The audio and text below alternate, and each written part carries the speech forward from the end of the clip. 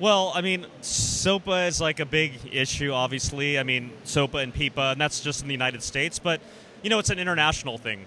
I mean, it's all about, like, you know, governments, institutions not really understanding, you know, the new world. And we, we have a net citizenry, right? And they have a lot of rights, I think, in this new space, how they deal with information. So um, there's a little bit of battle to try to educate them about what's the right way to deal with this. And, you know, I think both parties are at two extremes and their extreme is you know not in the best interest I think of the public.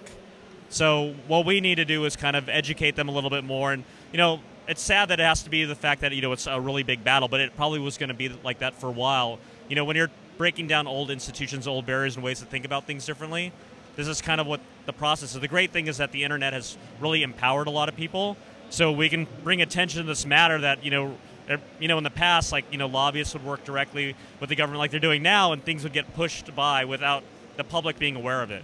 I think those days are gone, so this is actually a good thing. This is the thing, it depends how you think about stuff, and knowledge is kind of the basis for society, like, to be successful in it. So, kind of the way, like, you know, you know, I think I think about it, and a lot of people that I work with think about it, is that, you know, food is a basic necessity, water, but access to knowledge is, we believe, is one of those things right? So you cannot, you know, move up in society, actually be productive, especially in democracy.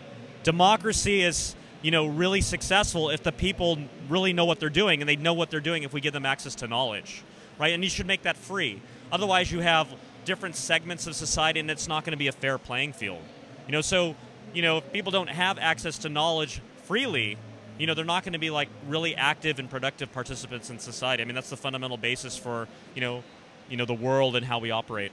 It kind of goes to what I talked about. Uh, what was what did I talk about a couple days ago? But it's really about you know taking control of your situation and empowering yourself to go out and do stuff. You know, you can't just sit around and like let cool things happen in technology. You need to be part of the action. Like you need to dictate the way these things go because this is your world, and you know technology allows you to do that. It allows you to be an active participate participant. So participate, don't observe.